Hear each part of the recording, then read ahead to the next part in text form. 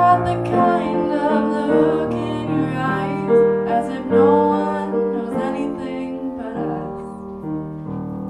And should this be the last